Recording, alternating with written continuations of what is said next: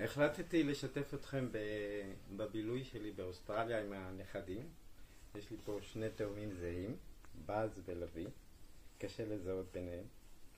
ואמרתי בוא נעלה סרטון על הרקע של הפאזל שכלתי עשתה, זה פאזל ענק עם חיות, ונדבר קצת על הידע של חז"ל בהריונם של החיות, איך הם דורסים וטורפים חיות אחרות. אבל לפני כן בואו אני אציג לכם את השקפת עולמם של הרבנים, איך הם מוכרים למאמינים לוקשים. אז תראו, החזון איש בהלכות טרפות, סימן ה' עוד ג', אומר כך: אין לקיים אמיתת הרופאים נגד דברי החכמים אשר המה כמסמרות נטועים לעד. זאת אומרת, צריכים לשמוע לחז"ל ולא לרופאים. עכשיו תראו מה הסבא מקלם בספרו מאורות גדולים כתב. שמה שחידש אריסטו, גדול הפילוסופים, במשך כל חייו, הוא נמצא גנוז ומכוון במילה אחת של רבנו יונה בשערי תשובה.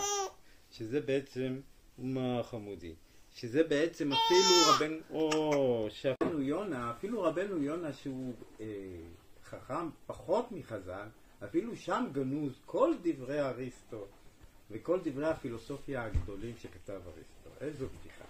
עכשיו בואו נראה מה באמת חז"ל ידעו. אז תראו, במסכת חולין, במשנה בדף מ"ב עמוד א', כתוב כך: הזאב, האריה והנץ מסוגלים לטרוף על ידי ארס בציפורניים. זאת אומרת, כשאריה טורף, הוא לא רק אה, הורג אותם מבחינה פיזית, כן, מה, אלא ארס מציפורניו והורג את החיות. והרי אנחנו יודעים שאין להם ארס ולא בטוח.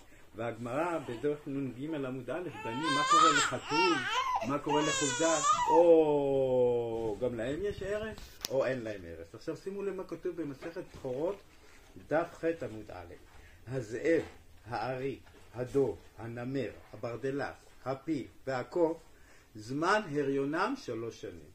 תראו כמה הבלים חז"ל כותבים, כאשר האריה זה הריונו רק, אה, לביאה בעצם, שלוש, שלוש וחצי חודשים, שלושה וחצי חודשים. הדובה שמונה חודשים, הנמרה ארבעה חודשים, הפילה שנתיים, והקוף, הקופה שמונה חודשים. אז תראה, בוא נגיד ככה לחזון איש ולסבא מקרלן. לא רק שהחז"ל לא ידעו כלום ובלבלו את המוח, אלא רמת החשיבה שלהם היא ברמה הרדודה של בית ספר יסודי. אז מה אתם אומרים, לביא ודאז?